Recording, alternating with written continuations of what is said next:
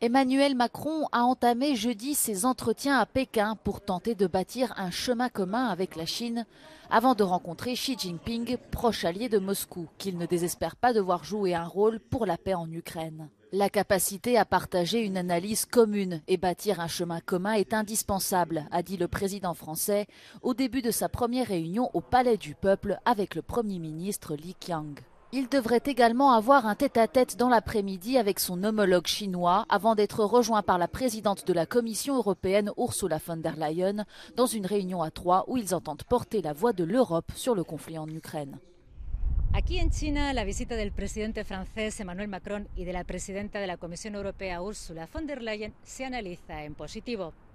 Es vista como un reconocimiento al papel preponderante que China quiere jugar en el nuevo orden internacional que se está estableciendo, especialmente después de que empezara la guerra en Ucrania.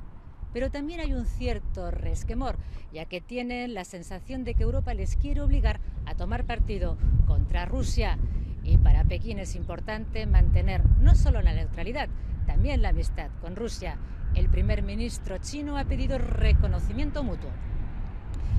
En cuanto a Europa, el objetivo es evitar que China envíe armas letales a Rusia.